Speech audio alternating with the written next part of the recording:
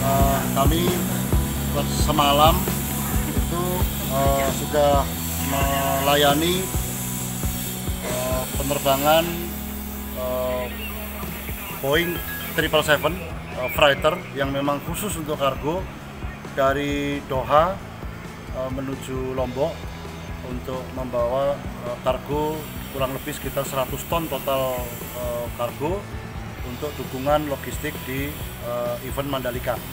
Kemudian eh, setelah dua jam selesai bongkar muat itu eh, pesawat dalam kondisi kosong eh, melakukan penerbangan kembali dari Lombok ke Hong Kong. Jadi berangkat tadi malam pukul 01.30 mendarat di Lombok pukul 23 lebih satu menit.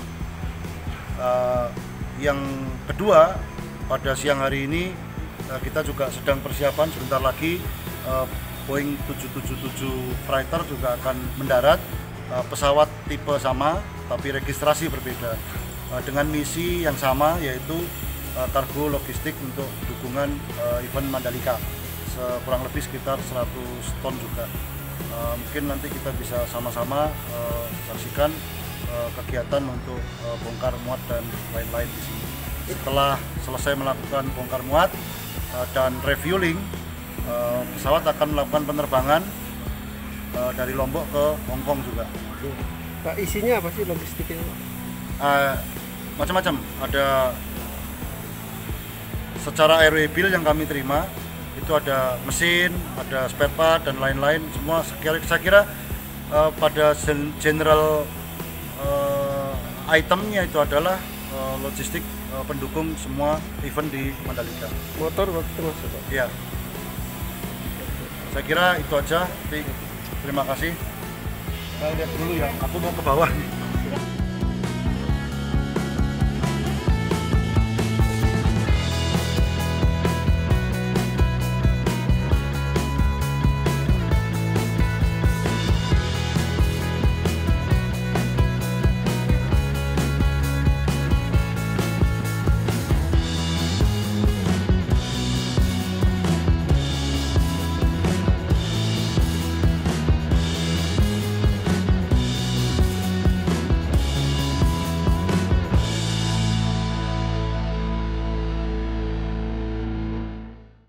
Terima kasih sudah nonton. Jangan lupa like, subscribe, dan share ya.